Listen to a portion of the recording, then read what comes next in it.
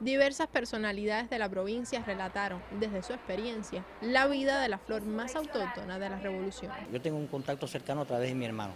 Mi hermano es uno de los muchachos que se criaron con Celia, como decir que prácticamente adoptivos, fueron como una segunda mamá.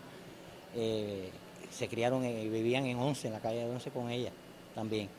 Eh, a raíz de que todo surge porque yo vivía en el campo, en la, zona de Jibacoa, Boquerones, y Fidel fue porque habían alzado alrededor de, las casas nuestras y fue con la milicia allí.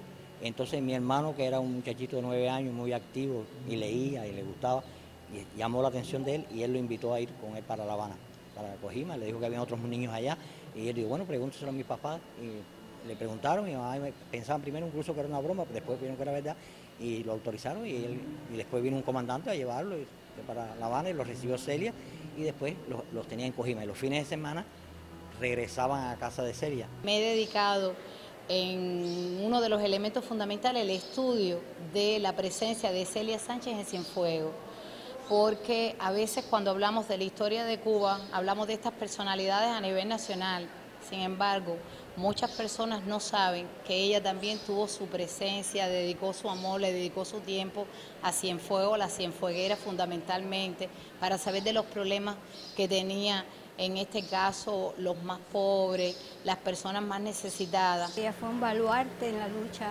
clandestina, en el proceso revolucionario, eh, fue compañera de Fidel en todas las batallas, su secretaria del Consejo de Estado, de ministros y toda esa serie de cosas hasta el año 79 que fallece. Todas las cosas que hizo también por el pueblo eran como los oídos de Fidel.